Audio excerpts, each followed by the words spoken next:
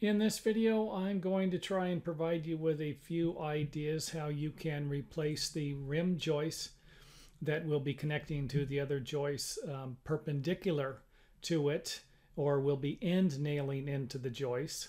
Now, before we get started, let me see if I can provide you with a better idea of how these walls are supported by the joist and the rim joist. And here we can see where part of the joist itself is going to be underneath the wall framing. And on a 2x4, the rim joist is usually going to be an inch and a half thick, which would leave us two inches of framing structural support underneath the wall, which in most cases that's going to be enough to support the wall and to hold it up and keep it from going anywhere. Now the rim joist on the other side that runs parallel to the other joists uh, is going to be a completely different matter and I already made a different video for that. I will put a link either here or at the end for that so that you can get an idea how to replace that one. This video is basically just dealing with this rim joist and the sill underneath it. Another situation you could run into is you might have blocks instead of a rim and this would simply be blocks that are in between the joists that go full width. They go instead of being only two inches um, sitting on top of a two by four plate, let's say you would have three and a half inches of the joist sitting on top. And if it's a two by six, like we have here, you've got five inches, five and a half inches sitting on top here, and then five and a half inches supporting the wall above, which uh, the blocks, like I said, they can usually just be knocked out and replaced. If they are damaged, the ceiling joists, that would require another video, and I think I've already made that video. Now, if it's just a little bit of damage to the rim joist, you can simply cut it out and replace it without any problem. If you need to do long sections of this, sometimes it's going to be a good idea to do small pieces at a time, maybe four feet four feet um, at a time and then just put a strap or some type of a connector if you're worried about getting some type of uh, strength um, for it. But you know, to pop the whole thing off and uh, replace it, that could be questionable, uh, depending upon the framing, what type of framing is above the floor. Here's a situation where it's a little longer. You could cut this out. I would I would say you'd be safe up to five feet. these are 16 inches on center. That would be one, two, three. That would be four foot here. So this is probably about uh, five foot, 10 inches, almost six foot.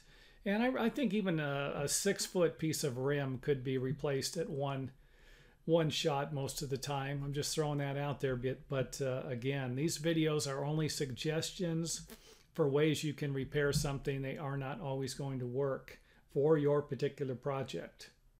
Here's another suggestion. If you have some damage, you could always install some blocks before you remove the rim. And of course, I removed the rim here to give you an idea of what it would look like, a better view of it. But uh, you could just simply block in between these, and that would be almost just like having a, a, another rim. And you would just leave it in. When you're done, just install the rim joist over the blocks and uh, you're going to have a little stronger area. So if you let's just say you needed to replace 18 feet of uh, the rim that's damaged, but the sill's in good shape, the joist is in good shape, you could simply block in between each joist or block every other joist and then remove the rim and reinstall it. And again, these are just ideas. You don't have to do it this way. I'm just trying to make uh, some people feel a little more comfortable with, uh, you know, the kind of creating stronger ways to repair things. So this block here, I just kind of let it stick out here just to show you that it was a block. It's even with the with the inside of the framing plate. Um, if you want, you could put multiple blocks in here, two or three blocks, but that would be unnecessary, I would imagine, most of the time. So after you have installed your blocks, you can simply cut out the damage. And if you don't want to install the blocks on the side here because you might need to cut it with a sawzall or something, then uh, you can always install the blocks after it's cut and then install the rim joists. Now if you do need to replace the sill that the joists are sitting on because it's damaged, uh, it, and this part's a lot easier than the one on this side, You just need to simply put something underneath it with some type of a support. In here, I'm using a couple of jacks and a beam. We got a four by six. I believe this is about a six foot beam. And you could jack it up on one side and install some blocks underneath this and uh, or use a screw jack. Screw jacks are always great for this type of repair. But here's the damage that's going to need to be repaired. So you wouldn't need to go all the way. But this is going to provide you with the support as these joists cantilever out a little bit. So I would say maybe keep it about uh, a foot away from the wall. And if the joists are damaged, this wouldn't this might not work because you're if the joists are damaged, they're not going to be supporting the walls enough. So kind of what it would look like from below. Another view of it there. You can see where it's supporting these. And again, this is the damage that's going to be replaced. Put the roof back on it. Cut your damaged uh, stuff out, the rim and the plate if necessary. If the rim doesn't need to be cut, great. You could probably cut the plate out with a Sawzall, I would imagine, and do a little bit of damage to the rim, but it would be fine. And then you can see here how the beam and the jack is supporting, providing support for the joist, which is still holding up the wall.